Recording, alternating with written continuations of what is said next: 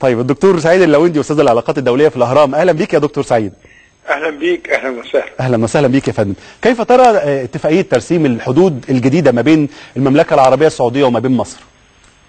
يعني لا أنظر فقط إلى هذه الاتفاقية لكن جملة الاتفاقات التي تمت أعتقد أنها نقلة نوعية في العلاقة بين مصر والسعودية في المرحلة القادمة. وقد أشاد الكثيرون بالتقارب المصري السعودي باعتبار أن مصر والسعودية هي القاطرة التي تجر الاتحاد المنطقة العربية إلى الأمام. طب وب- وبالأخص دي آه، في العلاقات ما بين الدولتين بالتأكيد العلاقات ما بين الدولتين كبيرة للغاية وراسخة وما فيش أي شيء ممكن يعكر الصفو ما بينها. ولكن كيف ترى آه، الجزيرتين تيران وصنافير؟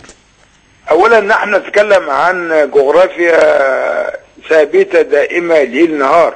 وبالتالي هناك قانون دولي عام يحكم العلاقات بين الدول. واتصور بشكل أو بآخر أن الرئيس السيسي لم يبع ولم يتنازل ولم يترك هذه الجزر بالعكس ما دامت هي سعودية فلتأخذها السعودية. آه إذا كانت مصرية فلتظل مصرية.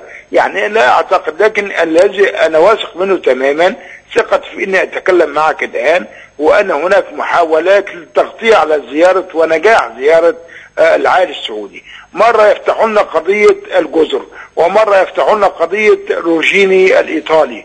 فجأة عندما يكون ملك السعودية عندنا وعندما تحقق مكاسب للشعب المصري والشعب السعودي. أعتقد أنه يعني زي ما قال اللواء عبد المنعم سعيد هي مسألة أصغر من هذا بكثير. فقط الهدف منها تغطية على هذه الزيارة ولفت الانتباه بشكل أو بآخر. لكن آه، لابد من موافقة مجلس النواب. مجلس النواب لم يوافق بعد على هذه الاتفاقية بشكل أو بآخر ترسيم الحدود.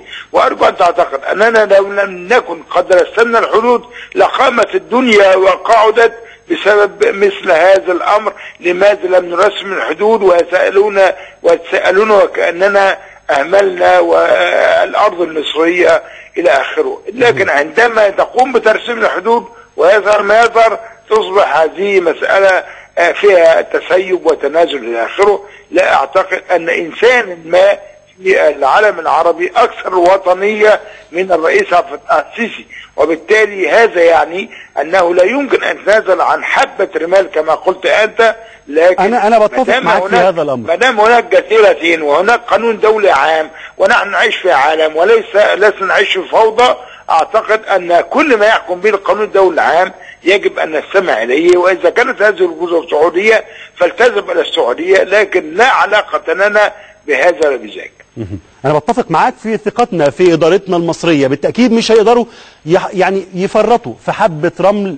بالأخص إحنا بنتكلم على سينا. سينا اللي هم بيعلموا جيدا مدى وأهمية والدم اللي بذل في سينا من كل بيت مصري كل بيت مصري كان فيه شهيد ضحى بالدم فمش هيضحوا بحبة رمل واحدة من أرض سينا. بالتأكيد إحنا بنثق فيهم ثقة آه، كبيرة. ولكن عايزين فقط المصارحة في الفترة اللي جاية نقدر نقول المعاهدات كذا كذا كذا نوضح للمصريين إيه الحقيقة. فقط علشان ما يحصلش الشائعات ما بين الناس كل واحد يتكلم ومش عارف.